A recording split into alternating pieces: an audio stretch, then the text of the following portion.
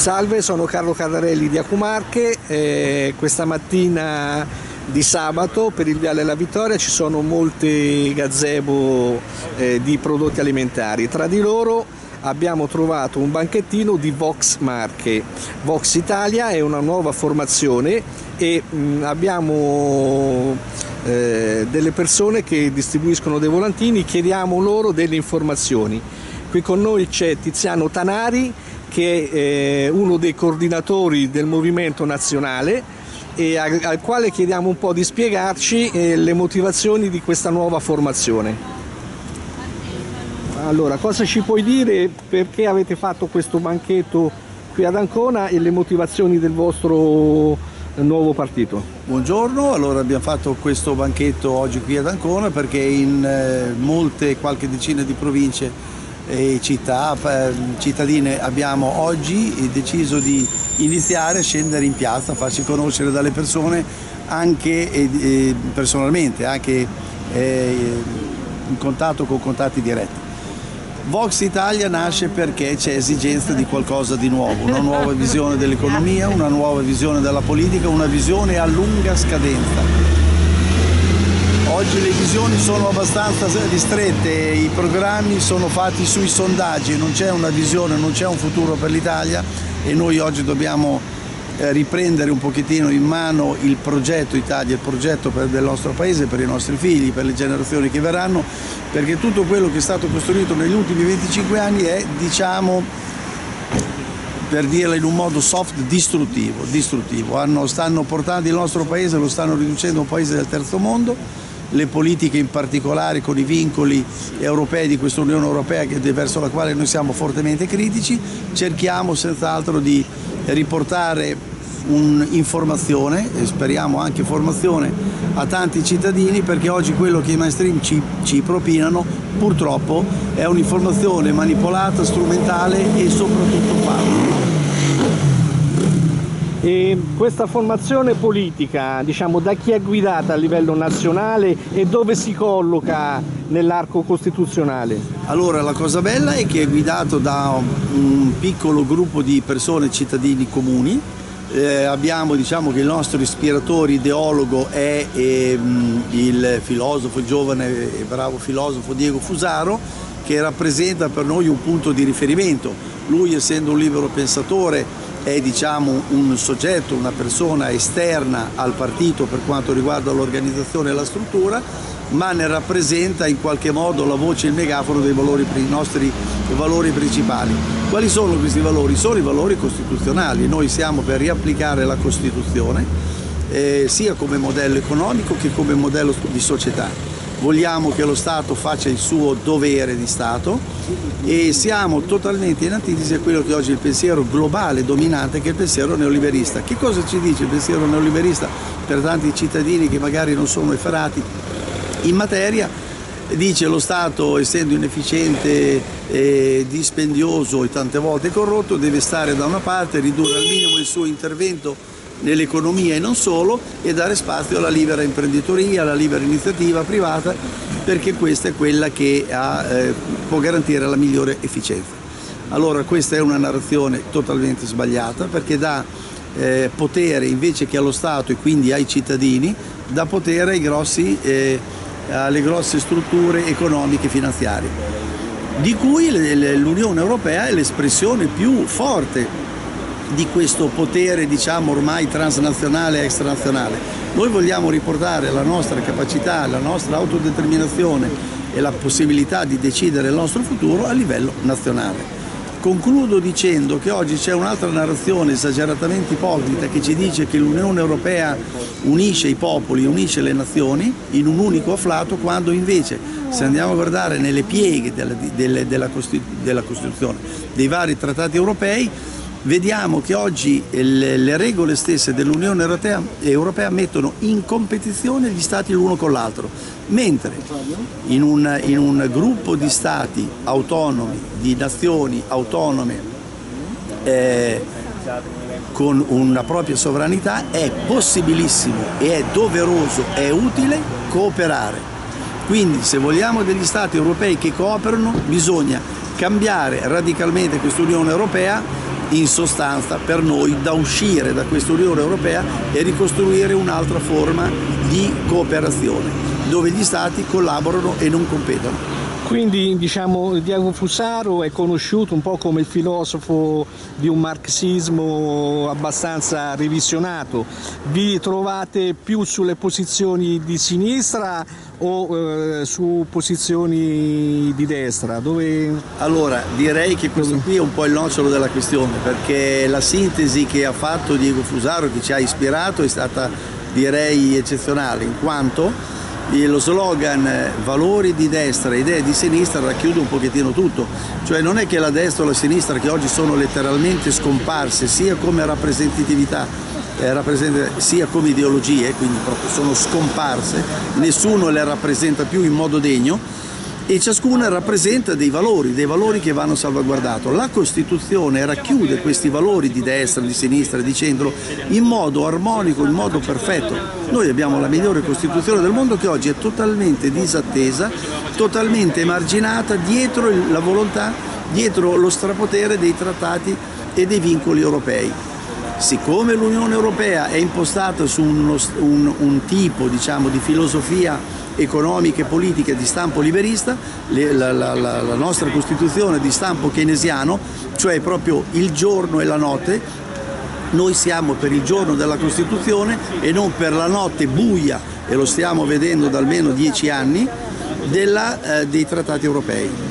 Degli articoli della Costituzione, no? io penso all'articolo 1 sulla sovranità che appartiene al popolo, eh, penso al no alla guerra all'articolo 11, eh, questi articoli qui eh, che posto trovano in questa formazione? Eh, sono, sono, la base, perché quando noi parliamo sovran di sovranismo in modo quasi dispregiativo, di populismo, noi ci riferiamo alla sovranità e al sovranismo costituzionale, in cui la sovranità appartiene al popolo che lo esercita nelle forme e nei limiti della Costituzione, quindi la sovranità è del popolo e non ha niente a che vedere con il becero nazionalismo che oggi vediamo purtroppo in tanti non popoli europei ma dirigenze, governi europei che ancora lo manifestano in modo veramente quasi quasi criminale se vogliamo. Difatti questa Unione Europea è costituita, di fatto oggi è gestita da un asse franco-tedesco che chiunque lo può vedere, dove l'Italia è la vittima predestinata. Dopo la vittima eh, involontaria, immolata, che è stata la Grecia, immolata ai sacri vincoli europei, noi abbiamo assistito alla distruzione e alla violenza nei confronti di un popolo e di un paese senza battere ciglio. Questo è vergognoso e quindi noi siamo per la sovranità non del popolo italiano, per la sovranità di tutti i popoli verso le loro democrazie e verso i loro governi. E quando un popolo è sovrano e democratico può permettersi di cooperare con gli altri e non di competere. Parola di cui oggi è stato più che abusato a tutti i livelli, grazie a questo pensiero unico, delirante liberista. Eh, per quanto riguarda l'articolo 11 contro la guerra, che ne pensate della Nato e questa alleanza? Siamo, qui è la cosa un pochettino delicata perché siamo, stiamo ancora stilando il programma. È chiaro e ferma la nostra, eh, la nostra opposizione a questa Nato. Per cui io qui mi permetto di esprimere un'opinione prettamente personale, credo che ci debba ancora essere spazio per forme di alleanze di collaborazioni, ma con, in una prospettiva di pace, non una prospettiva di aggressione.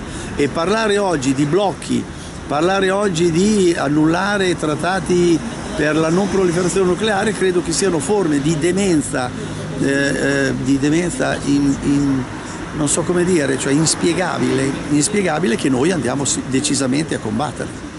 L'uscita dell'Europa, eh, l'uscita dall'euro, eh, qual è la vostra posizione? Allora, bravissimo, questa è la, la, ti ringrazio per la domanda, questa è la nostra, diciamo, un po' la chiave di partenza, no? quando noi mettiamo in moto il motore questa. Questa Unione Europea è un crimine contro l'umanità e contro i popoli europei.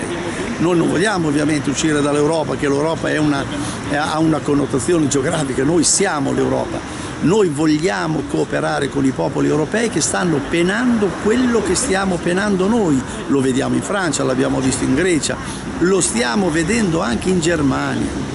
È proprio che il modello economico proposto, nonché democratico, anzi non democratico, il modello politico proposto da questa Unione Europea è un abominio contro ogni logica di buonsenso, ripeto, sia a livello economico che a livello eh, politico e quindi va decisamente contrastato prima e eh, decisamente sostituito, ma questo nell'interesse di tutti i popoli, di tutti i popoli. Chi parla di, di io sono per, per l'Unione eh, dei popoli europei, ma tutti siamo europeisti, io sono europeista e sono contro di voi che volete uscire dall'Unione Europea, ma l'Unione Europea è totalmente in antitesi col concetto di europeismo, di fratellanza e di cooperazione dei popoli europei. Noi siamo in mano, concedetemi il termine un po' forte, ma eh, non riesco neanche a giustificarlo per questioni di interesse di grandi capitali finanziari ed economici. Non è sufficiente, ci deve essere anche una forma di demenza perché pensare di addomesticare interi popoli con le norme e le leggi che questi propongono è assolutamente insostenibile. Noi, il nostro compito è quello di venire ad aprire gli occhi ai cittadini italiani e speriamo non solo, dando informazioni, dando una formazione, piccoli concetti semplici, basi, che devono, basiche, che devono essere strumenti, gli strumenti con cui leggere no? il processo politico-economico in cui il nostro Paese eh, sta purtroppo sempre più sprofondando. Ma per riacquistare sovranità l'Italia dovrebbe eh, cambiare tipo di politiche, stampare moneta, eh, altrimenti non può fare una politica economica. Per eh, stampare moneta quali sono le prospettive? Si può tornare alla lira effettivamente? Allora, eh, questo è il punto chiave, il punto chiave perché uno Stato non può essere sovrano e non può, essere, non può ritenersi uno Stato libero se non ha una propria moneta. La moneta è uno strumento che deve andare, eh, diciamo per dirlo in metafora, sotto metafora, di pari passo alla propria economia del Paese uno Stato che ha un certo livello di economia, un certo livello di capacità produttiva deve avere nel, circuito economico una quantità di moneta sufficiente perché il, il, il, prodotto, cioè tutto ciò che viene prodotto possa essere scambiato. Allora, noi oggi per farlo io faccio, utilizzo spesso un esempio, una, una metafora per spiegare un pochettino il meccanismo. La moneta è per l'economia come la benzina è per il motore se noi abbiamo un motore 5000 di cilindrata per farlo funzionare bene dovremmo mettere una certa quantità di benzina. Se abbiamo un 500 di cilindrata la, la quantità di benzina sarà minore.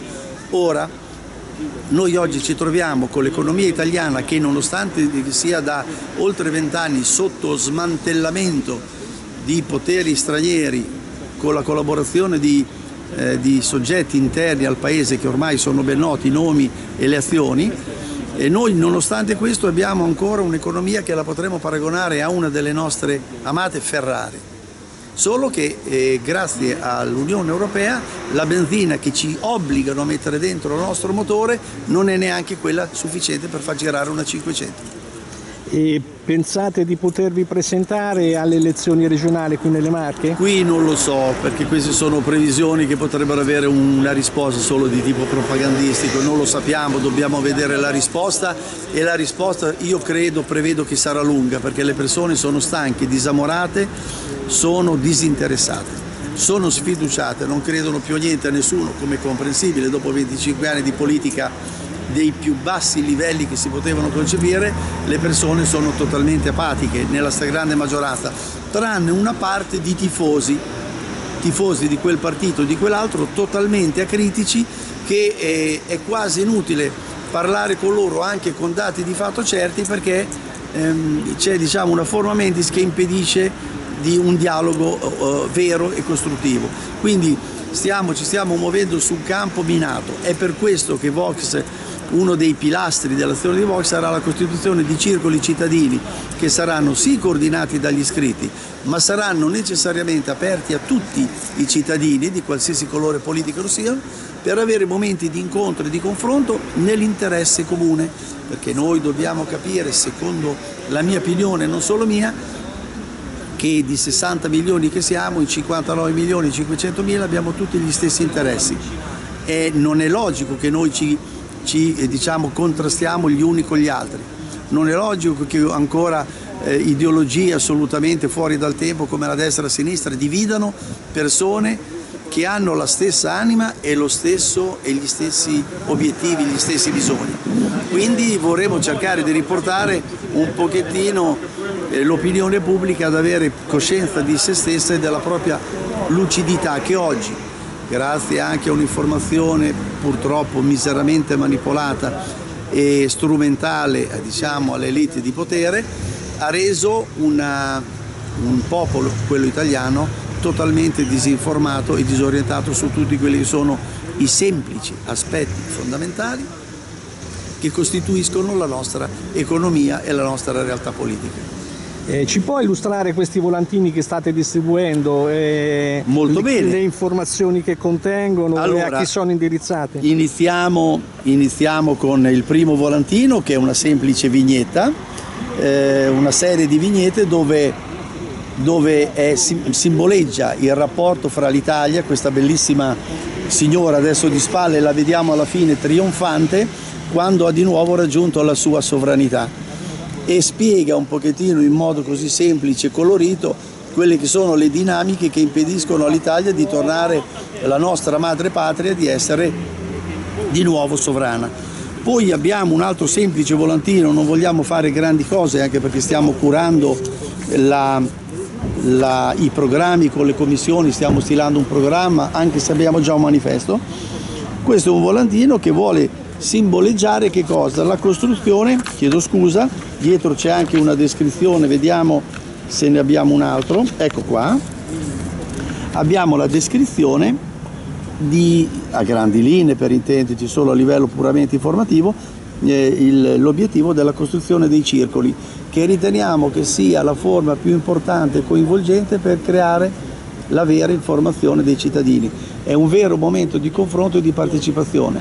Noi non possiamo più delegare la politica perché eh, se noi non ci interessiamo alla politica, disse un grande pensatore, la politica si interesserà di noi e lo sta facendo nel modo peggiore. In ultimo abbiamo qui, ci siamo permessi di unire, visto che come associazione MMT Italia, MMT sta per Modern Money Theory, sarebbe una teoria economica, ovviamente di stampo keynesiano, e come associazione stiamo collaborando con, eh, con Vox Italia per spiegare i fondamenti, i, fondamenti della, i, i semplici fondamenti dell'economia che saranno gli strumenti indispensabili per capire e per far capire alle persone quanto questo sistema sia fallace e quanto questo sistema potrà essere migliorabile in pochissimo tempo quando avremo raggiunto tutti quel minimo di consapevolezza. E, ehm, per chi volesse informarsi ulteriormente, avete un sito un blog, sì, una pagina sì. Facebook oltre dove... la pagina Facebook di Vox Italia Marche che invitiamo tutti quanti a, a, a, a dare l'amicizia per poter essere informati questo lo chiedo anche chi ha altre idee politiche apparentemente o che ha posizioni già radicali perché quello che noi cerchiamo con tutti è il confronto è il confronto perché noi siamo pieni di argomenti e di testimonianze importanti da mettere al vaglio e all'attenzione dei cittadini. Tutto quello che è stato proposto fino ad oggi è fallace, menzognero e grottesco, oserei dire grottesco, da quanto è insostenibile come teoria sia a livello economico che a livello politico. Poi abbiamo ovviamente il sito di voxitalia.net che è il sito nazionale e poi ci saranno tutti i siti, eh, eh, i siti ovviamente regionali, gli altri siti regionali. Però i più importanti sono oltre quello regionale quello nazionale. In ultimo, per chi vuole approfondire un po' temi di macroeconomia, vi assicuro con un linguaggio semplice e per qualsiasi chiarimento abbiamo, noi possiamo eh, rispondere attraverso tanti nostri attivisti, alle domande, alle cose, c'è il sito mmtitalia.info dove tratta solo ed esclusivamente di macroeconomia, però eh, lo, fa in un modo molto semplice, molto comprensibile a chiunque e credo che sia il primo strumento di valutazione per la politica attuale oggi e per l'euro inteso come, come moneta dell'Eurozona proposta da questa Unione Europea che non ne fa una giusta.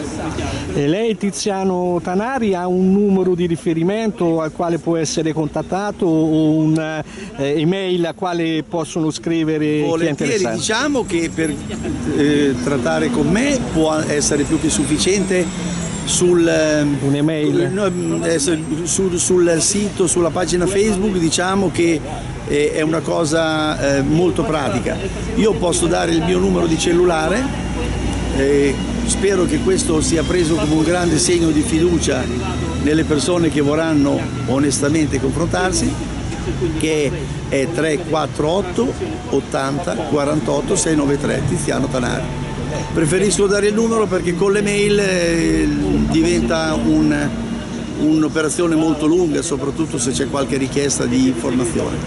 Grazie mille e in bocca al lupo. Grazie, grazie, grazie a voi.